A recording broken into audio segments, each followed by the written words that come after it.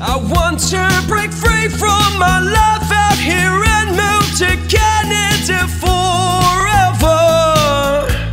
Good day, ladies and gentlemen. This is IRC News, and I'm Joy Stephen, an authorized Canadian immigration practitioner, coming bringing out this data analysis release from the Polinsys Studios here in Cambridge, Ontario.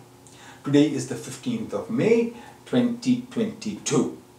This video may be of interest to foreign nationals, okay, and Canadian temporary residents working in 0621 retail trade managers, okay, anybody who is a manager in the retail industry.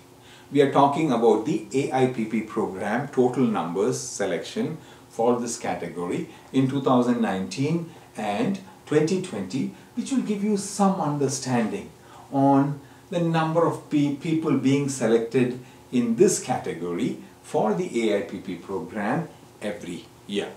In 2019, a total of 46 jobs in 0621 retail trade managers was processed and in 2020, a total of only three in the same for the same job title was processed for permanent residents because of the global pandemic. 2020 uh, figures have severe impacts because there was travel restrictions and the limits of foreigners coming into the country.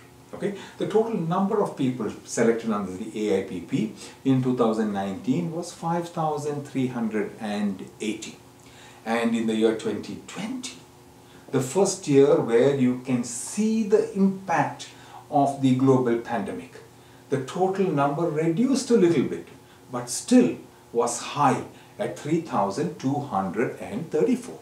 In 2021, the numbers we will be releasing it soon.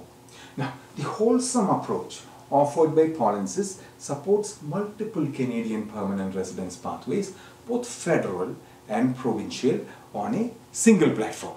Please attend the free on-demand webinars by following the link on the screen polinsys.com slash p. Okay, the wholesome approach offered by Polinsys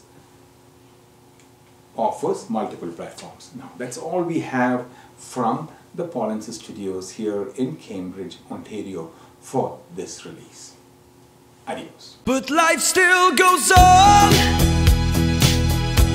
I want some help, Polinsys, Polinsys, Polinsys by my side.